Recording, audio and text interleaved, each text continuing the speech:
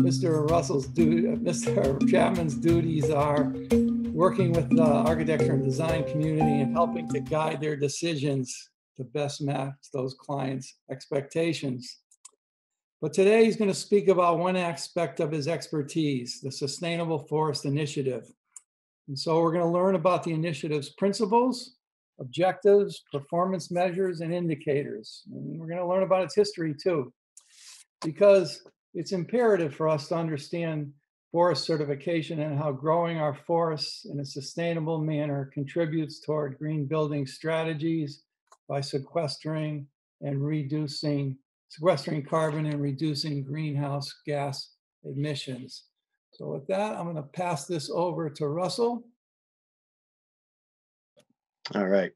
Well, thank you all very, very much for joining us this afternoon. We really appreciate it. Definitely a bit of a different, uh, different venue than what I think we're all accustomed to for sure. And thanks for uh, rolling with us as we hopefully successfully pull this off.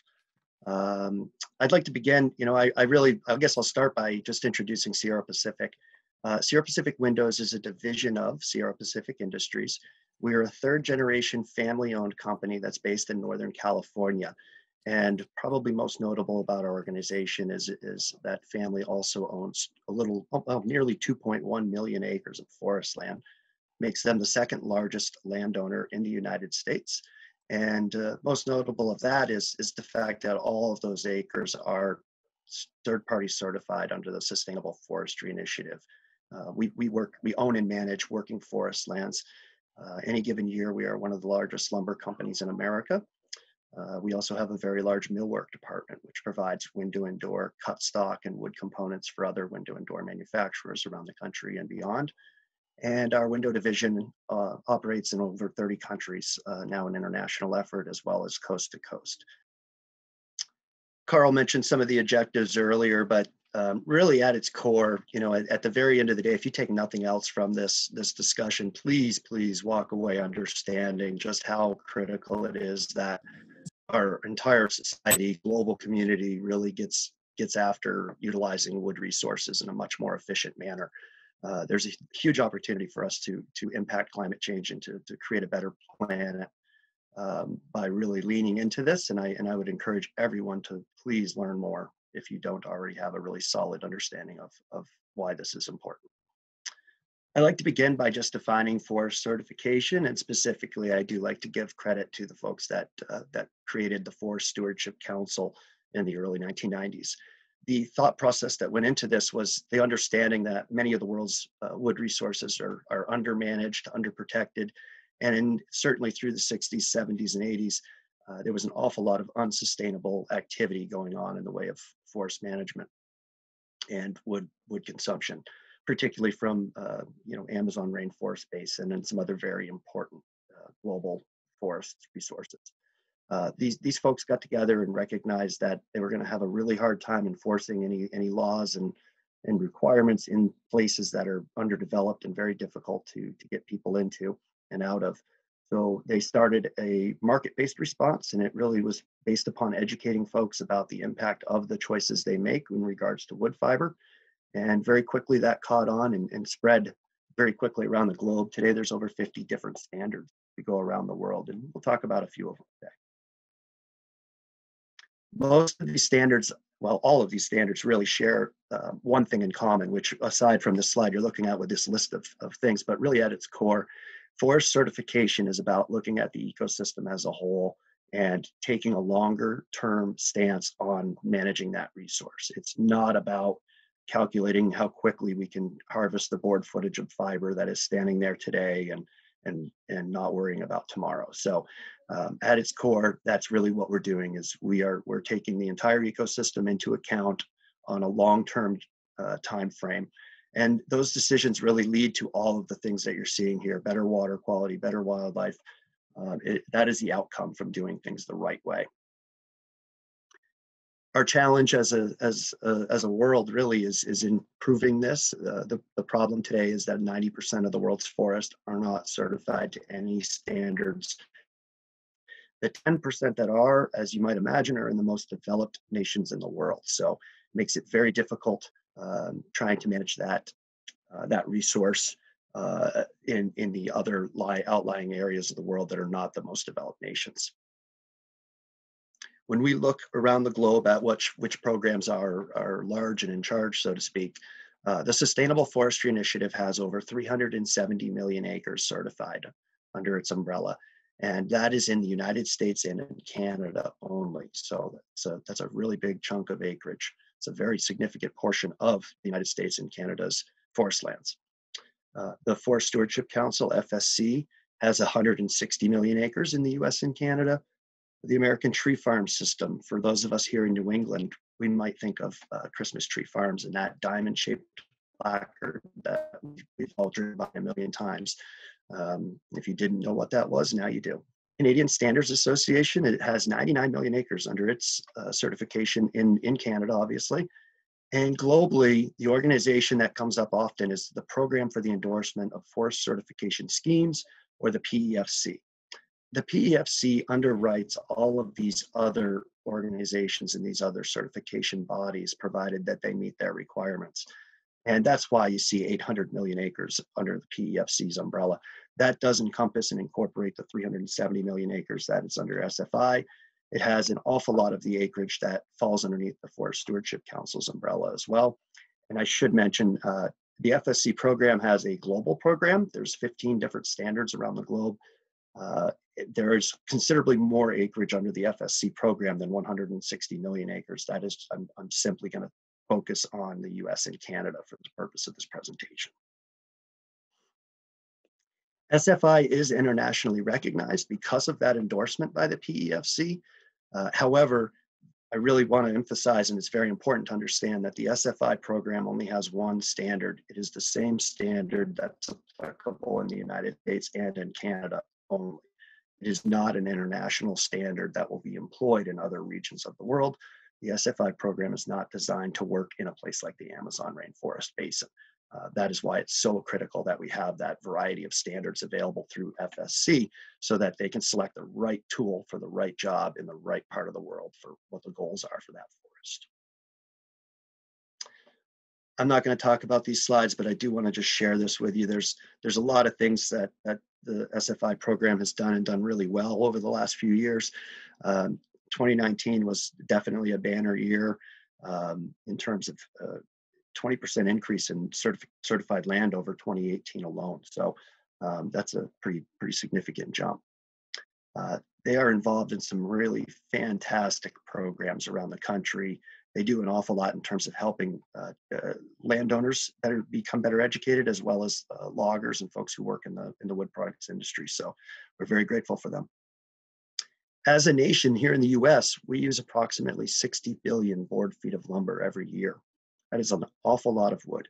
75% of that is in, as, as Carl points out, the AC industry. So um, very important that we make smart, educated decisions about where that wood fiber is coming from and what it is that we're doing to ensure that it is coming from a sustainable source. There's a little over 330 million of us today in the United States. Every year, each one of us uses the equivalent of a 100 foot tall, 18 inch diameter tree in terms of our, our, our uh, wood fiber consumption. Uh, we use wood fiber in things that we don't think about every day, but uh, very, very staggering amount of lumber that is used, or amount of wood fiber, I'll say, that's used in our by our society. If we stretch this out and kind of forecast what that might look like if it came out of all of one clear cut, uh, I, have estimated that we would be looking at a clear cut approximately the size of the states of Rhode Island and Connecticut combined per year in terms of how much wood fiber it takes to meet the demand in the United States. Now, as we all know, we don't pull all of our wood fiber from the same forest, so luckily we do not have clear cuts the size of Connecticut and Rhode Island. However, when we when we lay that out over the course of North America, where the majority of our wood fiber comes from, you start to get the picture that there's an awful lot of uh, a lot, awful lot of wood fiber out there. There's a lot of forests out there, and I'm here to tell you that we could double or perhaps even triple our wood consumption in this country and still be in a position where we're growing more fiber in our woods than what we are consuming annually. It's a really, really amazing thing when you stop and think about it. But uh, the history of forest certification goes back about 40 years now, roughly. And those first forests that went under certification, one of the very first things that you want to do is to, to really kind of correct that land particularly in our western landscapes, uh, these forests have been very overgrown. So providing some thinning, getting some seedlings in there um, was was a very good a lot of. And today, 40 years on with responsible management practices, we're starting to see tree growth that we've we haven't seen in, in centuries in, in the western forest. And we'll talk more about that as we go. Uh, but the point here is absolutely understand that for for as much lumber, as much wood as we're talking about, as many trees as we're talking about, there is a large opportunity for us to increase that volume by displacing the manufacturing of other materials. Uh, so it's, it's definitely a good thing to think about. I'd like to take a stop from talking for a moment and just share this video with you. I'll talk through it, of course, but there is no audio with this, so don't adjust your speakers. It is not you. Um, I'm going to start rolling this now. Hopefully everybody can pick it up and it doesn't become a, a, a nightmare in terms of the internet and transmission. Um, so to describe to you what this is, this is a video that was taken by the dash, taken from the dash cam of one of Sierra Pacific Industries log trucks out in California. This obviously is September 5th, 2018. Some of you may uh, correlate that with um, really one of the worst months in the history of our country in terms of fires. Uh, this was uh, the, the, the Carr fire, the Delta fire, the Camp fire were all right around this time, and many of those fires turned into the same. Uh, I want to point out that it's 2:23 in the afternoon. You can see that it's daylight. Um, you can see that these these trucks are all being pushed backwards down the down the highway, being evacuated out of this area, and you just take in the the colors that you see as well as the size of some of these flames. Um, it, this is just really, to me, this was really staggering. It was really sobering as a as a guy who lives in New England to see this the scale of devastation that occurred and how quickly it happened and it was a really really good reminder for me as to why we manage our forest resources the way that we do and and to be clear uh, responsible forest management is in itself is not necessarily going to put an end to these fires as we as we know them today but if we do not begin to lay the groundwork to to manage all of our western forests in a in a much healthier man, manner uh, this is only a sign of things to come. There's millions and millions of acres in our country that are effectively unmanaged today. And, and we, we run out of time in terms of uh, being able to, to deal with that. So um, what you're seeing here is, is still two o'clock in the afternoon, although you would think it's midnight. Truck driver just got tied up. The truck on the right is jackknifed and the guy on the left up ahead of us just backed into the Jersey barriers.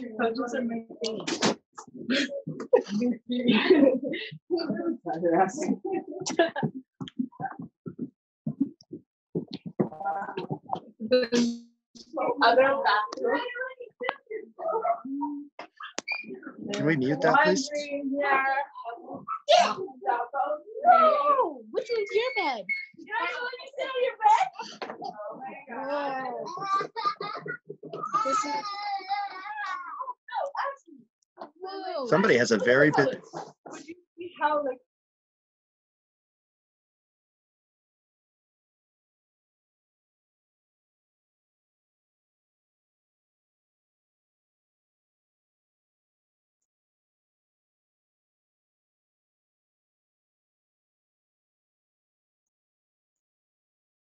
okay. I think we're back in action here. Sorry about that, folks. Gosh, it sounded like a, I thought I was getting a live feed from my living room for a second, minus the dogs. So um, anyways, this video I hope really uh, helped to highlight. No one was hurt in this particular instance in this video. Obviously, there was many lives lost during this fire. It was a very, very unfortunate uh, set of circumstances and situation. Um, in 20, i- i- 2018 was the worst year by far on record for forest fires, particularly in California, uh, specifically in California, I'll say. Uh, 2019, we had a bit of a respite, but it was still sort of an average fire year. Um, I checked the other day, and as of right now, there's nearly 400 fires so far in 2020 in California. It's going underreported. That is three times the annual average that, that we have. Uh, I was in Northern California in February, and uh, they, the state went the entire month of February without a single drop of rain. The forest was incredibly dry, very, very tender. Um, not a good situation good news is I, I understand in the past few weeks since uh, getting back east, uh, that area has seen some rain, but uh, this is a photo I took while I was there. I was fortunate enough to be able to go out and tour some of the um, area that was affected by the Carr fire. Uh, of interest, this is a checkerboard pattern of land ownership between the Emmerson family of Sierra Pacific Industries and uh, the National Forest Service. Uh, this dates back for those of you who might have an interest in history, you might like this one, but it goes back to the westward expansion. Uh, we don't think about it much, but it, it, took an awful lot of incentives to get uh, the, the railway tycoons, if you will, to build the infrastructure to connect our country via rail. What they actually got on the West Coast in exchange for that investment was alternating square miles of virgin Sierra Nevada timber, uh, timberland. So um, again, those of us in New England along the East Coast, when we go into some of these historic buildings built in the late 1800s, around the turn of the 1900s, um, whether it be in Philadelphia, whether it be in Portland, Maine, or anywhere in between, if we look at the bones of these buildings, oftentimes we see mass timber. We see these large Douglas fir beams that were sent back on the rail cars from California and, and places along the way. Uh, these beams helped build our uh, the boom that we saw in the late 1800s, early 1900s throughout the Northeast. So, um, what's interesting is as time has gone by, our government has retained ownership of some of those square miles, and uh, the Emmerson family's been been fortunate enough to be able to purchase those other square mile, those other alternating square miles that were part of the original railway lands one of the first things that we've did with some of those lands, most of those lands, frankly, is really clean them up. They'd been mismanaged by the rail companies for many decades.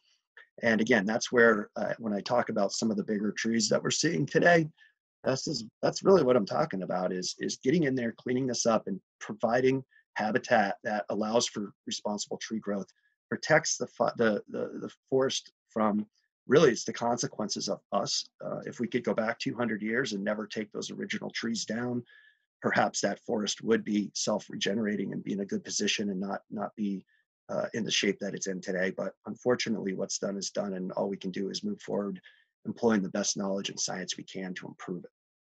Speaking of big trees, this is a giant tree. This is probably six feet across, maybe four or five feet from top to bottom.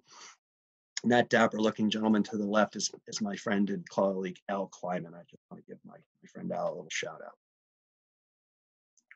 here's a good example of, of where we're at, how we got here, and where we came from.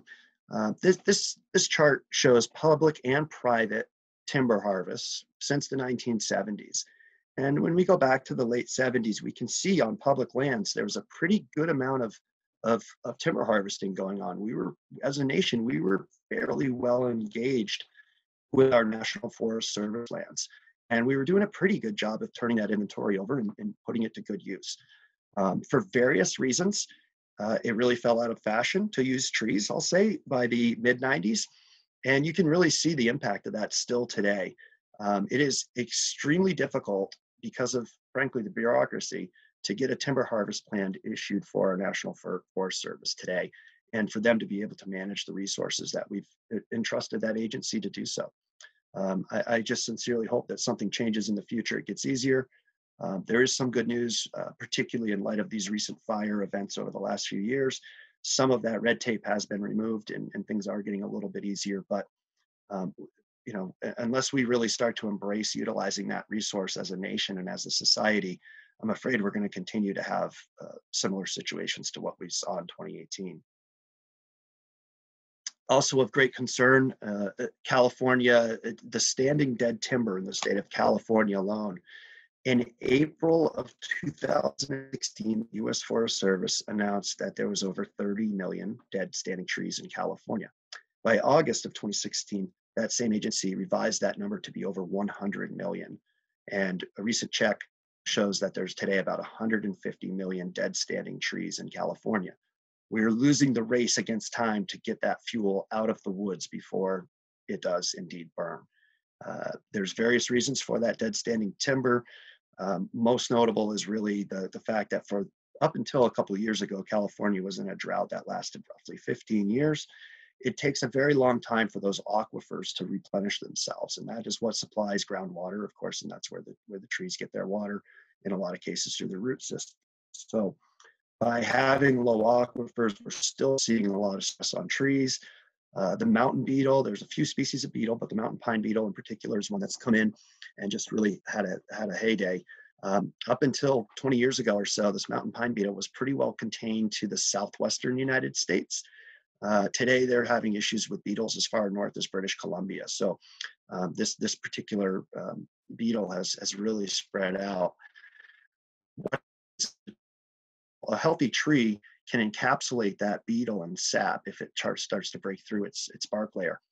When the trees are experiencing drought like this, they don't have enough sap production to be able to protect themselves. So these beetles go go crazy. Their population spreads out, fans out, and, and it kills these trees, leaves them dead standing, just like you're seeing. Um, we've got to figure out a way to, to get that fuel out of the woods and hopefully do something good with it. Um, it's going to be uh, time will tell if we if we win that race.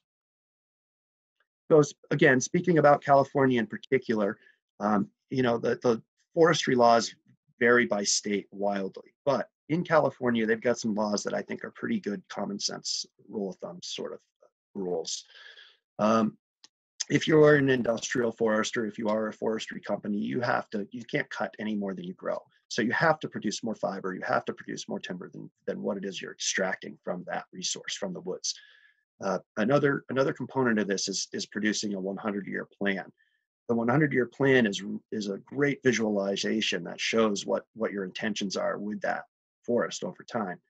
Uh, typical pine forest might grow to maturity in about 40 or 50 years typical fir forest maybe 60 to 80 depending on the on the circumstances the location and many many other factors but in general uh, what this 100 year plan does is really ensures that you're looking at at least to at least to one timber harvest and oftentimes to two or three on a particular piece of property um, so again it, it's that long-term view of managing the resource that i spoke about early on that uh, that really comes out in the, the proof is in the pudding, I'll say, for that 100 year plan.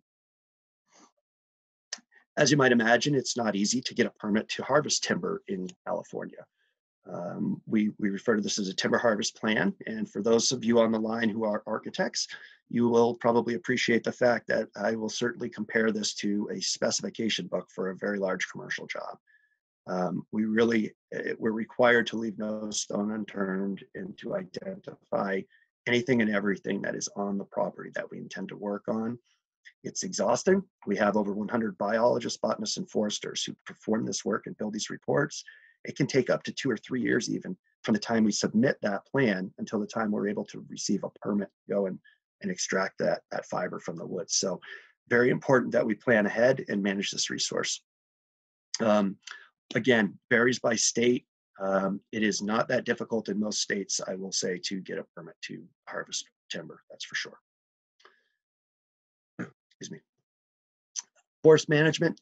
So, eh, you know, we think about forestry, we think about people in the woods, we think about a lot of folks out there with chainsaws and trees coming down. And, and I'll tell you, there's still a lot of people out doing that. However, the equipment that's out there today to, to extract wood fiber from our forest lands has come a really, really long way. Um, it, I'll say it's the, the, equivalent of using a scalpel instead of a hammer. Um, uh, the, the machine on the left is part of a uh, cable rigging system. So basically picture a chairlift and, and what they're doing is bringing logs up from, th from all over this hillside on a, on a chairlift built for logs. From there, they're able to process these logs, get them onto a truck on the road and take them out. It, it, causes much less disturbance than having animals out there or skidders running up and down these hillsides pulling uh, these logs all over. So um, that's that's one example. The, the machine on the right uh, is on tracks, and it's effectively a five-axis CNC machine. It has a blade that will come out. It'll grab that uh, uh, an arm that'll come out, I should say. It will grab the tree, hold it in place while a blade comes out and cuts it, and then that machine can actually limb that that that log as it comes down, puts the log on the road.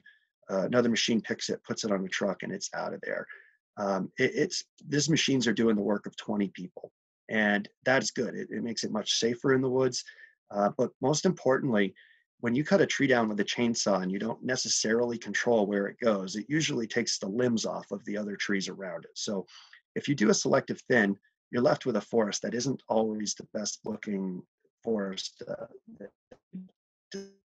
by having this kind of equipment, you really can go in there and precisely grab that tree and protect the trees that you intend to leave so that they don't have to rebound for the next two or three years just to heal from your, your activities. So um, definitely nice to see technology uh, being utilized in this manner uh, in, a, in an industry, frankly, that has been around obviously a very long time. This next series of slides is fascinating to me. It always has been. Uh, somebody in the in the early 1900s had the foresight to begin this project, and out in the Bitterroot Mountains south of Missoula, Montana, they put bronze placards in the ground, and they started a photography project. And over time, people return to this this these bronze placards, and they take a photograph from the same perspective. So what this gives us is, a, a, a, well, right now, 111 year change uh, over this particular forest, and we're not going to come all the way up to 2020 with this. Um, this is absolutely buried in the National Forest Service website somewhere. Um, and I've dug it up over uh, in the past, but uh, there are there are pictures that have been taken since this. This goes up to 1989, and there's been pictures taken since then. It's still an active project, but um, for our purposes, this will get us through, and we'll be able to, to, to look at this. The the history record tells us that our western landscapes, whether they were the Rocky Mountains or whether they were the mountains of the Sierra Nevadas, that we had much wide, much more wide open spaces, and uh, the tree densities were nowhere near what they are in today's in today's western forests. Um, this is obviously after a logging operation. You can see where they piled up some brush that no doubt was lit on fire. But in general, you've got a really open uh, forest floor. The sun's able to get in there. The trees are off. You can see the sun reflecting off these trees. In fact, it's it's it's how um, bright and open this is, it, it, it's beautiful. Um, should lightning strike here or, the, or a fire otherwise be started, we're going to get a very fast moving, high intensity fire that's going to move through the understory. It's going to burn out this brush. It's going to take out some of the smaller, you know, uh, smaller trees and certainly some of the weeds. But in general, it's very healthy for the forest. And, and there's entire species of pine trees, frankly, that are dependent on natural forest fire in order to, to procreate. So it's it's really important that we don't interfere with this cycle very much, but I'm afraid we've we've done just that. And this series of slides might might give you an idea as to what I'm talking about. Right now, these these larger trees are if a fire did come through these larger trees, it's likely going to be able to to survive uh, that kind of an event. We jump ahead 40 years and we see that that large pine tree is still here and we can see that we're getting a, an awful lot of diverse age uh, uh, of conifers coming in behind here. So mix of pine, mix of fir, uh, and we're getting a pretty uneven aged distribution of, of trees right now. And you can see that large tree was cut. Now we're moving through into the 50s. Let's jump into the 60s. We had a logging operation happen here, and you might see that there's a logging road in the forefront of this. And right in front of that stump that was removed is where that road is. And as we look at this, you're going to see some pine coming up very densely, very close together, uh, and really thick, right? So we call this dog hair pine. We see this often and we see it all over. Um, I see it in New England. If you've ever wondered why post logging in New England, where we might be out logging oak trees, for instance, uh, even in a hardwood forest, if you go back to that site a few years later, the, the trees that have rebounded the fastest are all of the pine trees in the logging road that where that seed was disturbed by the mechanic the, the mechanics of the machine that brought that came through, whether that was a skidder or a dozer or whatnot. So by opening up logging roads, opening up the canopy, that sunlight comes in and that pine seed just takes off like a rocket. And uh, it's very, very effective and very efficient. That's what pines have, have been doing for thousands of years. Um, however, when you're trying to, to create a, a forest landscape that's resilient against fire, this is really not what you're looking for. These trees are so close together uh, that really what we've done is we've created what we call a fire ladder. Now, if we envision fire or lightning striking um, this same forest, uh, uh obviously the consequences the consequences are obviously very, very different at that point and uh, the fire will be able to move vertically. And once that fire moves vertically and gets into the canopy of these larger trees, that is when we we lose control of that fire, and that's when we start to have events like we had in 2018, where hundreds of thousands of acres are, are burning uncontrollably, and there's nothing that we can do to stop.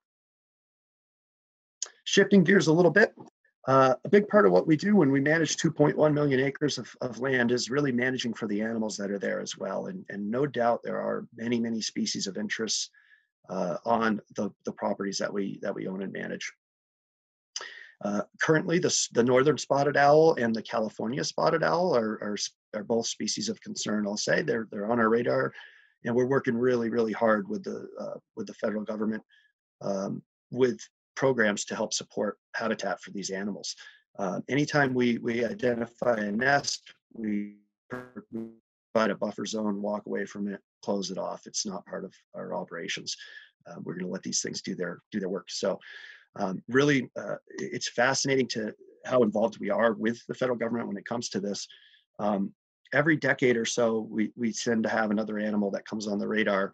And uh, in the early 2000s, it was the Pacific Fisher, and Sierra Pacific participated with a number of other folks uh, and, through a federal uh, and state government program to reintroduce the Pacific Fisher. Um, I will tell you that the one that that young lady's holding in the upper right-hand corner is absolutely sedated. These are not cuddly, friendly creatures. If, if you're if you're at all familiar with a Fisher cat, um, you will know that they are pretty ferocious. And pound for pound, we can be thankful that they stay away from us. Uh, so very interesting. We we successfully reintroduced, I believe, 40 individuals. Those 40 had become about 60 when the batteries died in the tracking collars. And today we hear from our biologists when they're out in the woods that they frequently see these these animals. So um, by by all accounts, a, it was a very successful project. Um, identifying habitat that that's specific for these animals' needs was critical, and uh, it's a great story that, that they're back. Not so great story is our friend Buddy the Wolverine, and uh, Buddy Buddy showed up on Sierra Pacific forest lands outside of Truckee, California, in 2008. Uh, he was captured on trail cams, and our biologists kind of lost their mind because there had not been a wolverine sighting in the state of California for roughly 100 years prior to that. Uh, so this was really a big deal. As you can imagine, every game camera that the company owns was deployed to Truckee. And we also set up some food traps and we managed to collect some hair from this individual.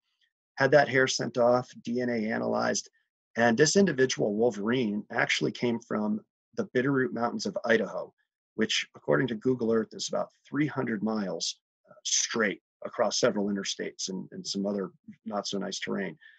Um, nobody really knows how Buddy got to California, whether he was a pet that somebody brought and released, or whether he actually um, rolled out of Idaho and relocated to Truckee. But what we do know is he was spotted and documented for the next 11 or 12 years, up until just a couple of years ago, when it's believed that he passed away of natural causes at the ripe age of about 11 or so. Um, I, I mention this simply because these this animal that that was largely run out of California and or exterminated, if you will, um, has uh, you know has shown that there is potential for reestablishing its population. So um, maybe I only hope perhaps that this might be an animal that we can look at doing a, uh, Pacific Fisher study on or something of that sort somewhere in the future. But uh, certainly fascinating to know that this this guy lived his life all alone and was the only Wolverine in the state of California for better part of a decade. So the carbon cycle, um, you know, when these resources first came out quite ago, maybe as well known to everybody, but I, and you know, in 2020, I got to believe that there's an individual out there who does not understand the importance of growing healthy forests, growing trees, and sequestering carbon. Uh, you know, certainly anything we can do to reduce the impact of our activities as human beings is is welcomed, and I think it's just absolutely imperative that we uh, again, that we lean into this and we start to, to utilize this resource to the fullest of our abilities. In conclusion, uh, I, I, just want everybody again to be to be aware that you know what we're really doing here, what forest certification is all about, is uh, is really that long-term view of the ecosystem, protecting the resources, to protecting the forest, protecting uh, fresh water, and, and everything that comes with it. Um, so I, I, I thank everyone for the opportunity to to talk with you today. And uh, don't forget YouTube. I'm serious. It's a great commercial. I love it. And uh, our team did a great job with it. But thank you all very much.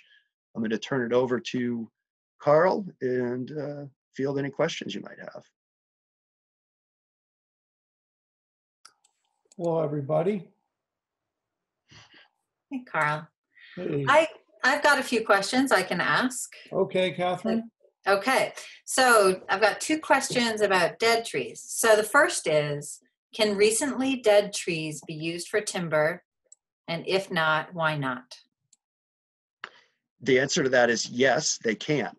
We have approximately 12 to 18 months, perhaps 24, uh, to get in and get that wood extracted from the forest before it starts to naturally decay.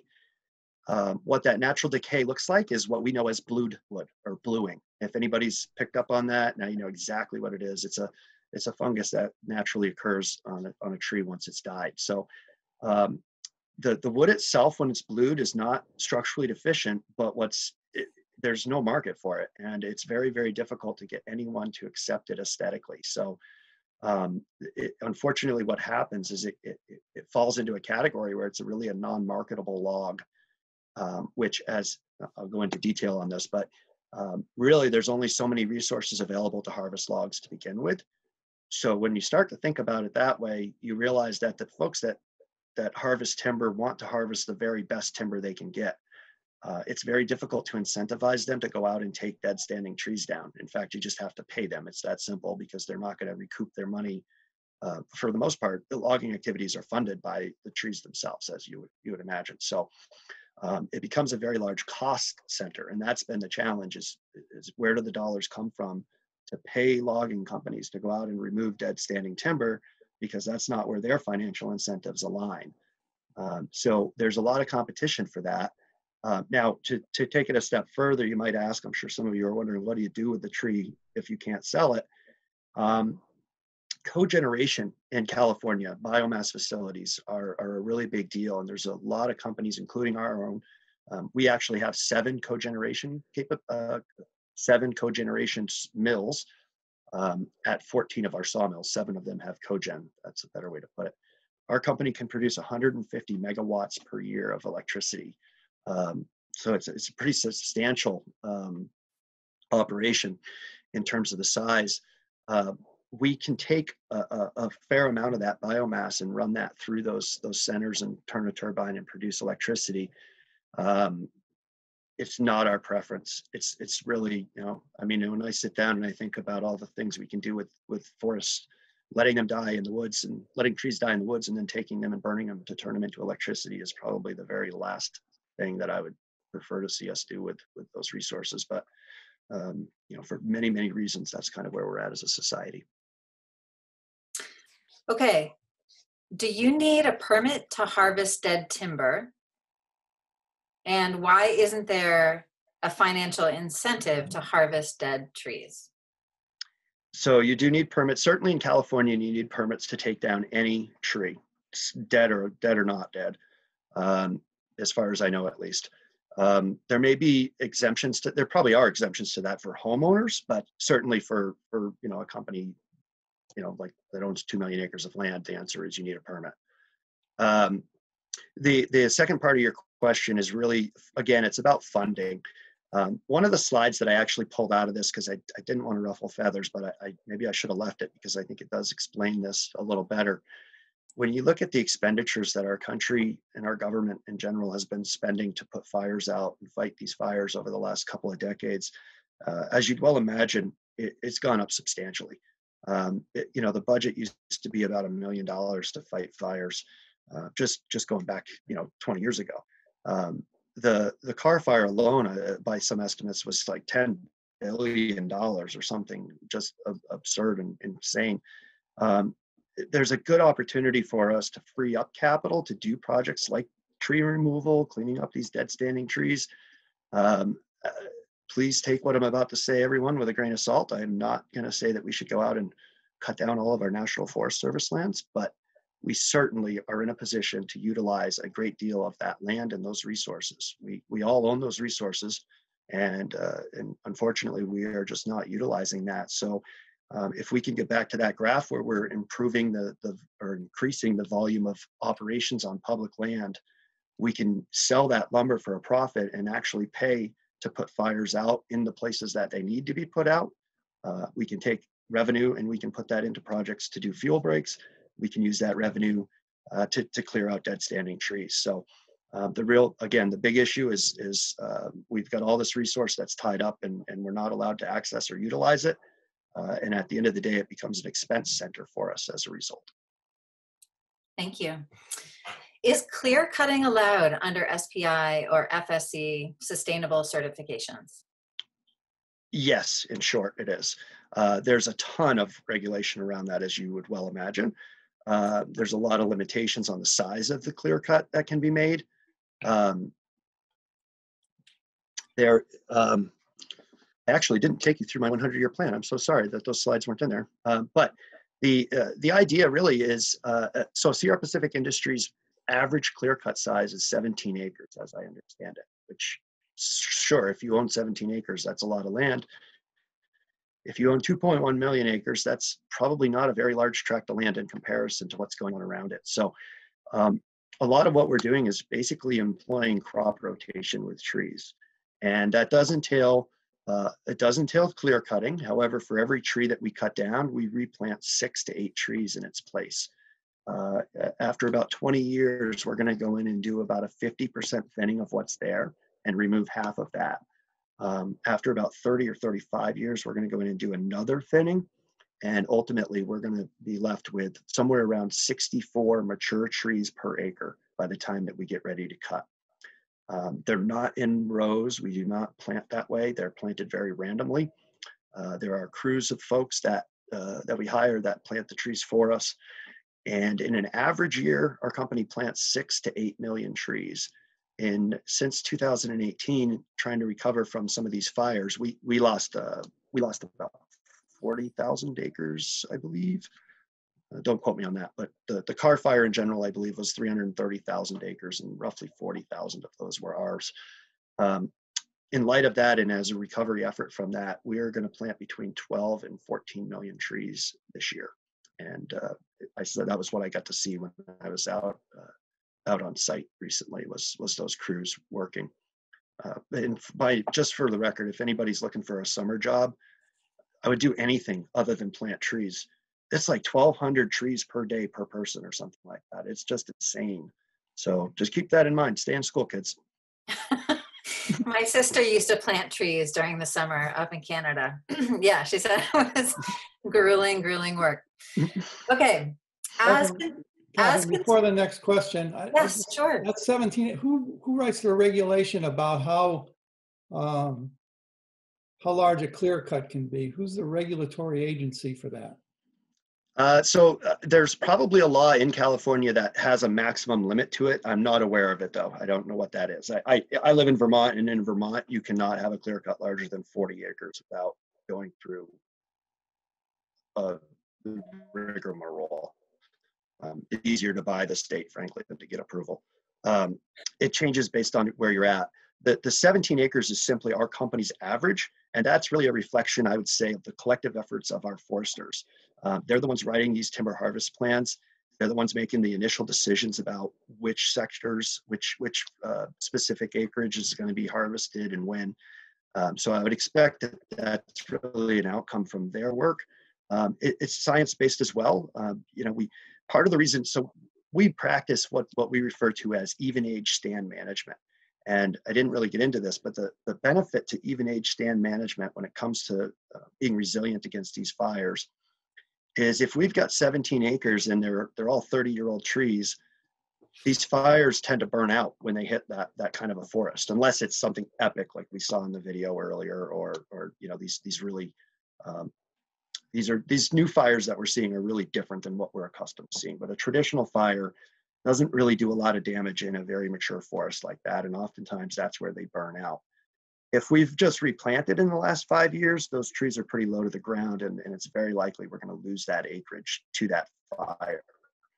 Um, so th- that's where we start to see this um, this crop rotation, if you will, this tree rotation uh, come into play because it gives us defensible spaces. If we've got a 17 acre, acre area that is small trees, we can utilize that's a, in effect that's a fire break uh, so that's what the Cal Fire and all these agencies that are out there fighting for for survival, um, they're very much looking for those sorts of, of uh, features in the landscape to be able to dig in and, and, and, combat these issues and these fires. Um, in, in fact, that's where an awful lot of activity in California is to is based today.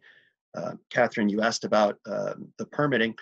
One really nice thing that's happened since 2018 is is uh, for fuel reduction projects uh, for defensible spaces. There's been a lot of clearing of that red tape. So um, we are seeing an awful lot of, of public and private uh, partnerships where fuel breaks are being introduced and we're starting to isolate the forest from the residential neighborhoods, which I would argue we probably should have been doing that all along.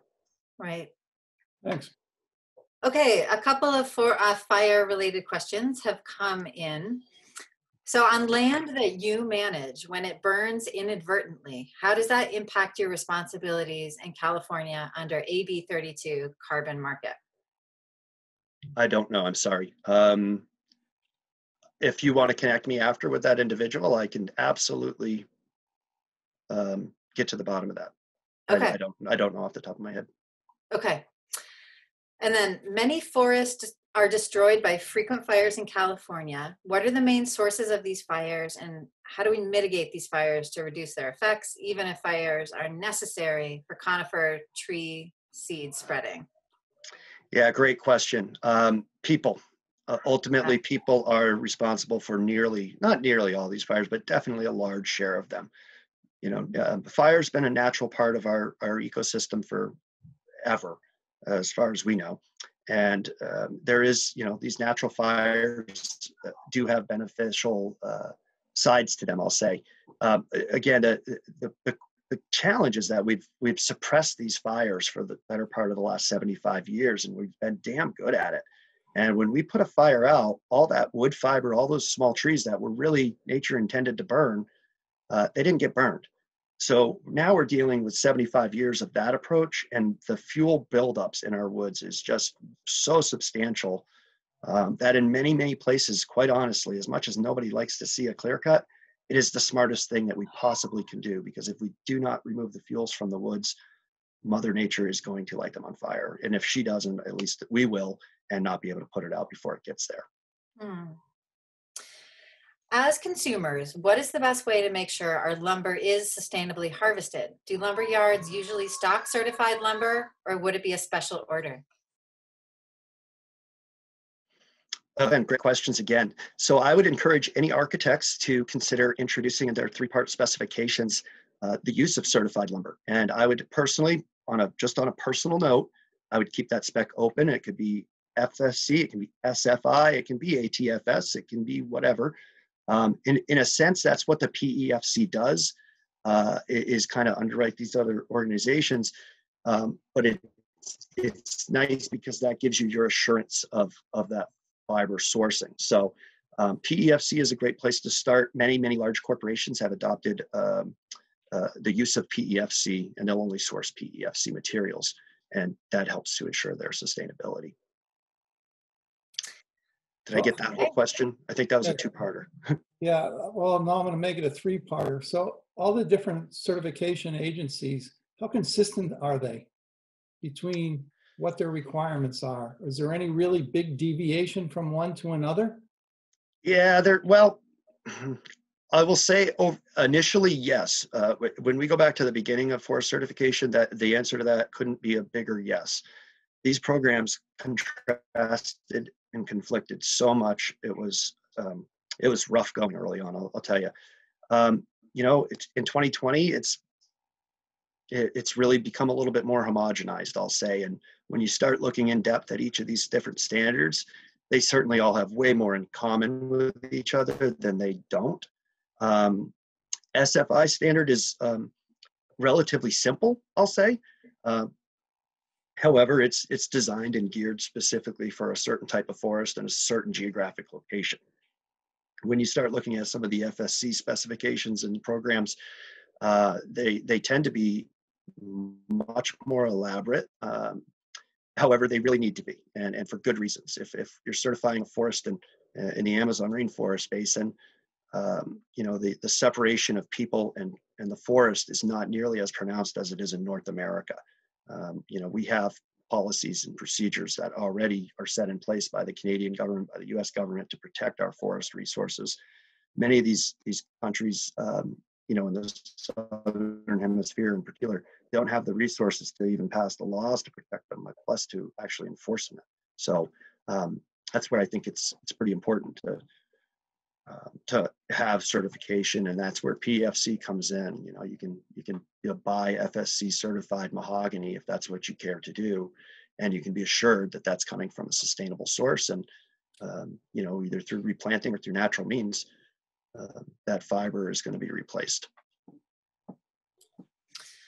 Okay, another another question comment. Great talk, thanks.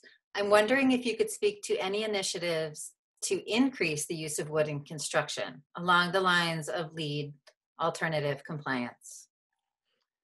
That's a wonderful question. Thank you to whoever put that one in there for sure. So um, within the LEED program, uh, April of 2016, the LEED program did open the door for the Sustainable Forestry Initiative and other certification bodies and other certification programs to receive the material resource credit. Uh, well, actually, should, to be clear, it's the alternate compliance point system or alternate compliance path.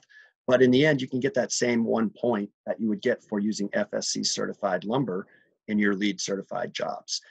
Um, where that's really important is, um, and, and, forgive me, but somebody had asked earlier about the availability of certified wood at your local lumber yard, and, and this this kind of ties into that. Um, you'll find that certain wood products really lend themselves well to SFI certification. Some lend themselves well to FSC certification. Um, it's hard to buy a sheet good today that doesn't have some certification on it. Uh, same with two-bys. Uh, but there's other wood products where it's a little bit looser. Um, you know, particularly the, the, wood trim market doesn't have um, that volume uh, going into it. But uh, you will see these stamps on uh, on your lumber. You will see the stamps on the on the flooring products. Uh, depending on what it is, if you're trying to get an FSC certified, you know, for, so FSC certified framing lumber, for instance, the last time I checked, came at a premium over, uh, let's say, non-certified or basically the two-bys at the local lumber yard. Let's say. Um, there's other products that there's no price difference whatsoever. So it's it's just about the economies of scale. Um, by using SFI in lieu of FSC, uh, you can back out some of the costs that may have traditionally been built into doing a LEED certified project. Uh, to, to transition a bit, current initiatives underway to use more timber, um, we are having a we are experiencing a renaissance in this country in terms of of, of wood fiber and how we're looking at using it. Uh, we are we are uh, whether that be cross laminated timber, dowel laminated timber, nail laminated timber, uh, mass timber in general, we're, we're really starting to get back to our roots and understanding that one of the best things we can do for our planet is utilize these wood resources that we have that are out there and build our buildings out of that material. Uh, it, the, the offset from that is, is just unbelievable in terms of carbon emissions when we compare that to traditional building methods that might include steel, aluminum, concrete, and other materials that have very high embodied energy. Uh, so um, being able to, to look at utilizing this fiber in a more responsible and more intelligent manner through the use of, of mass timber, uh, we, we believe that's the future and, and, we encourage everyone in this group to help make it so. Mm, excellent. And could you speak about the main barriers against using wood instead of aluminum for curtain wall systems? Yeah, I think in my own experience, frankly, is it's new and it's different and people as a as a as a whole god new and different doesn't always go over well um, but the, the, in general I'll, I'll, tell you the uh, wood curtain wall we, we believe is is a wave of the future for sure um, we're very grateful for the opportunity to showcase this actually at the UMass Amherst campus. So the, the Worcester Commons Dining Hall that's under construction currently is utilizing our wood curtain wall system.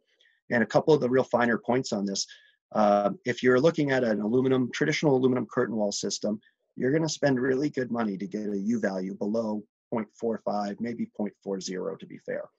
Um, with a, and you know, oftentimes we hear folks looking for triple glazed aluminum curtain wall systems, and that's to overcome those shortcomings.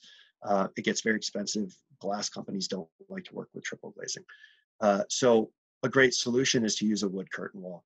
Uh, if you use a glulam interior system on that product, you've got all the beauty of the wood, you've got the structural durability, you've got a U value that's 0.30 with regular double glazing and argon. Um, imagine the impact of that on a building with a significant, on a commercial building with a significant amount of glass. That energy savings alone is is really unbelievable. Um, in fact, it's gotten to the point now where when I'm talking to architects, I say, "Can I just talk to the ASHRAE 90 person? Because if I give them the numbers on our wood curtain wall, they're going to make you buy this thing. Um, it, it will change the the HVAC footprint of that building and the mechanical demands. Uh, and frankly, the only thing more expensive than windows these days is mechanical systems. So I think that the more we can incorporate um, healthier building envelopes in lieu of mechanical systems to overcome that, I think the better off those buildings are going to be long term. Mhm. Now, someone Catherine, I got, Catherine, I got another one here on this. So, so the, the exterior, the exterior of, of that mullion system, what's the coating or cladding on that, on a, on a wood system? Yeah, the exterior cap system is extruded aluminum, Yeah. and then that that is capped with an AMA 2605 finish, uh, powder coated finish on the exterior of that. Um, the the, uh, the wet paint equivalent of that is Kynar. For those of you who are going, what the heck is an AMA 2605 powder coating? Good, thanks. You bet. Um, someone else is curious about the windows. I've got two window questions. And wood makes a great window framing material, but it's fairly conductive. Do you use wood fiber insulation as a thermal break in the windows, as is common in European windows? Not currently. Um, on a personal note, I love it. I, I hope someday we get there, but unfortunately, as a as a um, really as an industry in America today, I don't know of anyone in the U.S. who is really doing that. Um, certainly not on a production level. Uh, there's there's no doubt some uh, boutique manufacturers who can meet that need, uh, but uh, but yeah, unfortunately, that technology has not quite made its way into uh, the mainstream, so to speak. Now, someone else has written in, I'm looking at Sierra Pacific website and I would like to know more about the H3 casement technology. Yeah, the H3 casement. Uh, so the H3 technology in general is a, a very, very popular window platform for our company. And it starts with an extruded vinyl mainframe, which has an integral, fully rounded and welded nailing flange. So uh, from the ins- from an installation standpoint and from a, a moisture management standpoint, this window is as easy to install as as a vinyl window, really. Um, however, we've got the exterior of that cladded with, a, with extruded aluminum. Uh, again, powder coated uh, 75, 77 standard colors. It's baffling. Um, and then on the interior of that window, you're you're going to have a wood interior. Um, nine different wood species, a whole bunch of different pre-finish options, uh, but but very very um, I, jokingly refer to the H3 platform as the Swiss Army knife of Windows. Uh, there's very little that you that you can't do there. Cool. Advocates of mass timber argue that one benefit of engineered wood products is that we can use low value wood. What does that mean for sustainable forestry? Is harvesting younger trees inherently not as sustainable? Don't they sequester less carbon? Yeah, it's that's kind of a, it's a tough one to to address that. There's um, so looking at the the mass timber market right now, um, I'm going to speak to Maine because I, I just and I'm going to give credit to uh, to Josh Henry with with Go Labs. Um, these folks are doing some phenomenal work up in Maine in terms of utilizing wood fiber. That's they're partnered also to be to be fair. They're partnered with with UMaine uh, on this program, which is phenomenal. Um, we don't think about it much, or we may not be aware of it, but uh, with the downfall of, of newspapers, right? There's the paper industry has just been turned on its head in the past 15 years. And there is a ton of low value softwood, uh, particularly in Maine and Quebec, really throughout uh, this region, um, that has no place to go. And, uh, and, and giving that stuff a home, creating a market, creating demand for that wood fiber, uh, frankly, it's just absolutely essential to the survival and the future of our forests in New England we're really lucky. We we basically live in a rainforest, and we don't think about a lot of the stuff that we talked about tonight with regard to fire and having a really dry environment. But um, hey, things are changing, and I think everybody knows that today. And we don't know what the future holds, so we we we would be wise to utilize that wood fiber uh, sooner than later, because uh, we may very well just you know a couple hundred years we could be in the same position uh, with a different piece of acreage than than what we're seeing out west. So. Hmm. Another question about the use of wood fiber. I got another one here, Kathy. Okay, go, yeah. Interject. So- Okay, So this, uh, thi- this sequestration of young trees and old trees, that an old tree sequesters more carbon, is that just tied to because it's a big old tree? But how about the carbon uptake? As a young tree growing exponentially faster than another tree within the same species? So wouldn't that have to be taken into consideration? Yeah, so I, I'm I'm going to preface this by saying I am not the expert on this. There are tons of people in my organization who have more scientific background and knowledge on this. However, having listened to many of them, um, yes, a, a- an old tree being a mature, very old mature tree uh, is going to sequester more carbon. Uh, that it's just, and that's due to the size of the tree. It's just a very large living organism at that point in time. Um, however, trees tend to hit a, a, a midlife crisis, if you will, where they don't sequester quite as much carbon in the middle of their life. So you have two choices. You can turn that inventory over because obviously a young tree, as it's growing, is sequestering a, a great deal of carbon annually for the first 20, 30 years. Um, then it's going to hit this point where it doesn't sequester quite as much carbon. It's just sort of, you know, doing its thing, hanging out.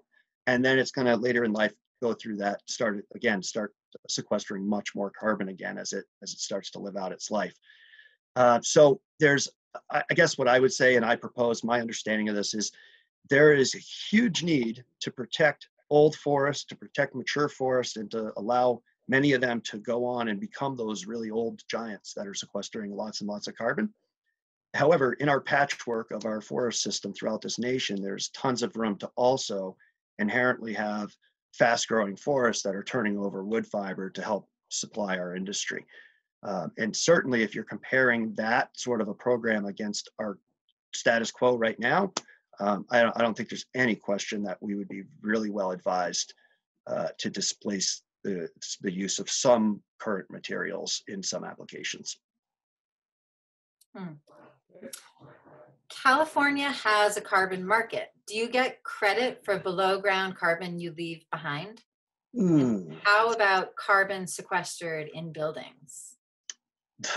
Great questions. Uh, I have not the foggiest, but I would be very happy to chase down an answer to that question if uh, you want to connect me with that individual later. Okay, sure.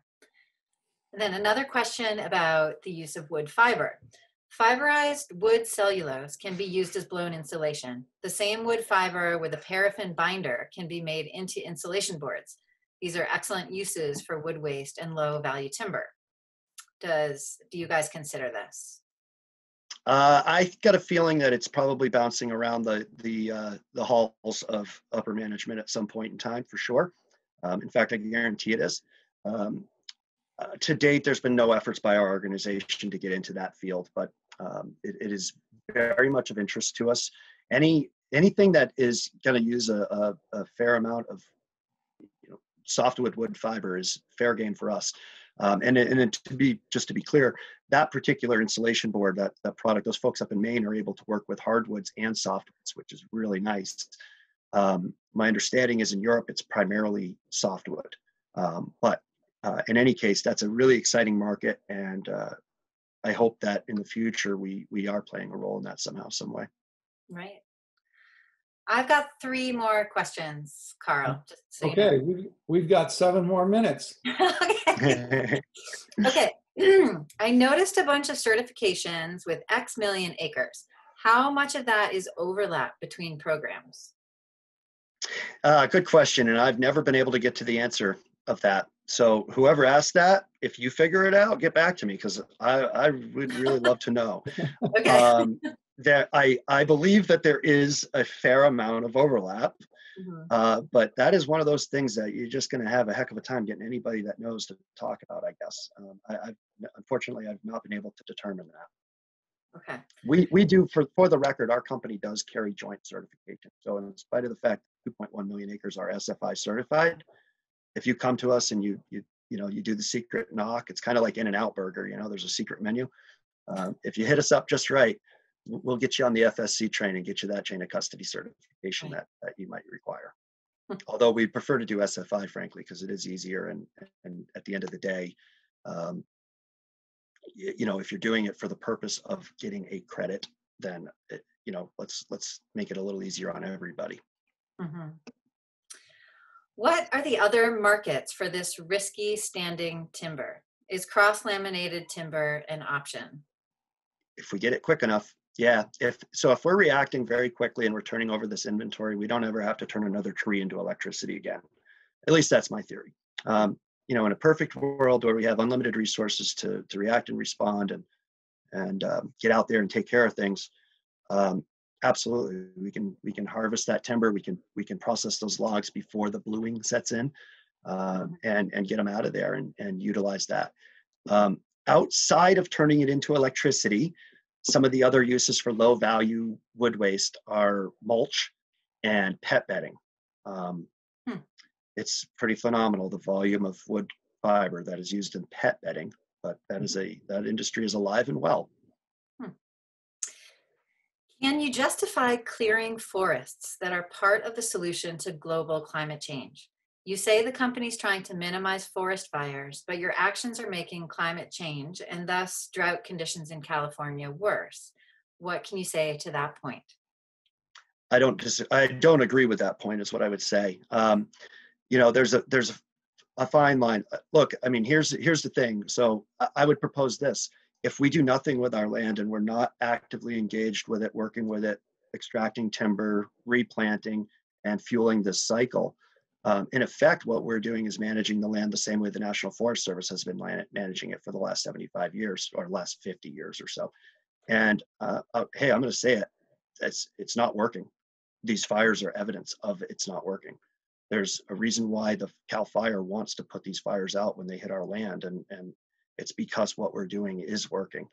Um, so um, I would certainly just invite whoever uh, had that perspective to please try to lean in and learn a little bit more about it. There's uh, uh, it's not an all or nothing game. There's op- there's opportunities for us to utilize resources and land and to to to um, use these wood resources there's other times where it makes sense to totally leave it alone and um, you know again I, I just reference it as a patchwork because there's going to be different things are uh, different things are going to happen on different acreages um, and and we'll have the ability to see some of these forests go um, without logging operations uh, for for ever and ever and see what happens.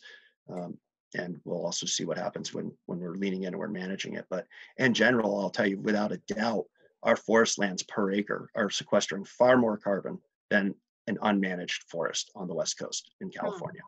The the tree densities, there's not very many healthy trees on National Forest Service lands out west today because the tree densities are, are way too tall. There's way too many trees per acre and there's not enough resources to go around. So um, by by thinning out that those trees and by giving trees the ability to grow to their, their fullest potential, we do believe we're doing the right thing and we're also providing um, a, a, big economic benefit to the communities that we work in and, and certainly a number of employees. So Right. we're grateful. We're grateful for that. Thank you. So a comment came in as you were speaking to carbon about carbon previously. So thinkwood.org has some excellent graphics that show how young forests sequester more carbon than old forests. In any case, for construction, the carbon benefits with mass timber are much better than building with steel and concrete. And then our own BCT program is doing research on turning New England eastern hemlock, which is infested by the woolly Yes. Adelgid, if I pronounced that Mhm. correctly, into CLT. Nice. Yeah. That's awesome. That's you know, hey, that's another. That's a great example. That's a that's a resource that folks are working on getting out ahead of because we know it's going to die on the on the stump, and you know that, that's that's brilliant. So I, I commend you folks for that effort. Oh, oh, and a final question came in. I think we've got you for one more minute. In a Green New Deal, what would you want the federal government to do with federal land? Implement a measured program. Uh, I do not want to see, uh, you know, day one, let's run out and just cut everything down by any stretch. No, God, no. But let's look at this and make smart decisions and let's prioritize protecting people and property right now. Let's get those jobs done to create fuel breaks and to isolate uh, those people who are most at risk from those forests that are most likely to burn. And if we if we start looking at it from that perspective and we work backwards, I think that from there over time, what we're going to find is we've created a system where we're, we're providing revenue to our Forest Service to be able to implement programs that are proactive and helpful to everyone. Uh, and at the same time, we're going to encourage much healthier forests than what we have um, in a lot of cases today. So are we good, Catherine? Yes, we are good on my end. Thanks, everybody, for your questions. Yeah, for sure. So there was 120 participants, 121 to be exact. And to be perfectly frank, this format of uh, sending in questions is, uh, it elicits more questions than we typically get in, in a live audience. But uh, I'd like to really thank Russell now for participating in what is now kind of the Wild West of communication and working through uh, the challenges to make this come off. And so, as a small token of our appreciation, Russell will, of course, be receiving the collection of your those responses on what you found most interesting about the election, about the uh, lecture, and additionally, we're not going to disappoint Russell re- will receive the coveted BCT water bottle, but via UPS rather than a handoff. So thank you very much, Russell. And we'll see many of you in some other virtual environments later on this week. Thanks again, everybody. Thank you all.